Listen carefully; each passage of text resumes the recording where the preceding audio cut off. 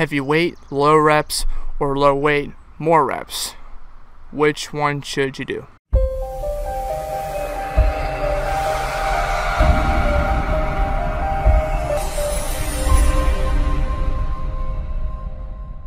Hey guys, Alec back for another video, and today we're going to be discussing two different types of training styles. But before we get into that video, if you can give this video a like, a share, and most importantly, subscribe, it will help me out a lot. And let's go ahead and get into the topic. So I was recently asked which training style is a lot better. Lower reps with heavier weight, or lower weight with more reps. Now, it kind of depends on what you want to do, but I'm going to give you my personal answer, and that is I would train both if I were you.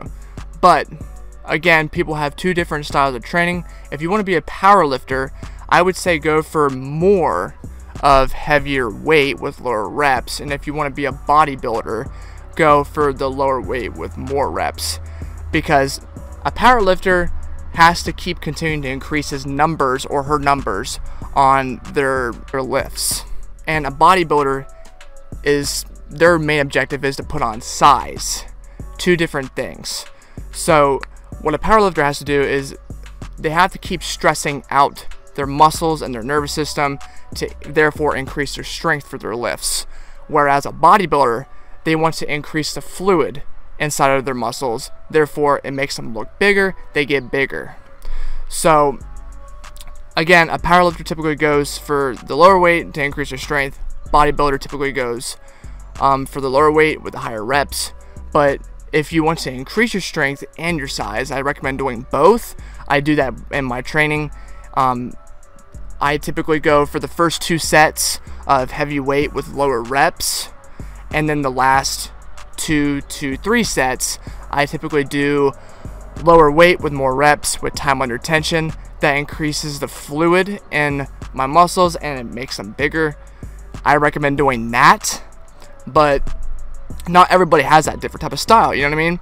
Because I know a lot of bodybuilders who are very committed to lower weight and higher reps, and a, that type of hypertrophy makes them look a lot bigger, whereas I want to increase my strength, so I'm going to do both. A powerlifter is not. They're going to be more focused on heavier lifting. I mean, there's some lifters out there, um, powerlifters, and they can throw like 315 over their head. I can't even do that. Okay, so that's what their objective is. That's not mine. Mine is to typically get stronger with the first two sets, and then I increase the rep range and lower the weight on the next two to three sets of a given lift that I do. For an example, I was doing weighted chin ups today. I did two heavy sets. I did 110 pound chin ups for four reps dropped it down to 90 for six to eight reps. I can't remember which how much I did. And I dropped it down to 80 pounds for 12, and then so on and so forth. And I increased the reps and I lowered the weight. That's also called reverse pyramid training if you didn't know that.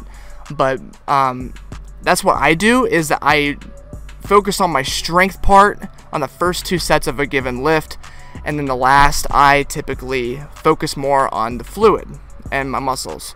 So again, if you lift more weight with less reps, that's called myofibrillar hypertrophy. If you are doing lighter weight with more reps for the pump, that is called sarcoplasmic training. Two different styles, you should definitely incorporate both. Um, they're both phenomenal on increasing your strength and you also increase your size in the process. I know a lot of people who choose one over the other, but if it were me, giving you this option, I would recommend both. But again, if you're going to be training heavy with lower reps, be careful because you can actually be more prone to injury if you can't handle the weight. So that's going to have to do it for this video, guys. I hope this was very informative. Please give it a like, share, most importantly, subscribe. Check out what I got in the description below. I have a bunch of discount codes on supplements, on my FNX supplements. Um, I have some t-shirt discounts you guys can go on and the uh, description below. And as always, thank you guys for watching, and I'll see you guys in the next video.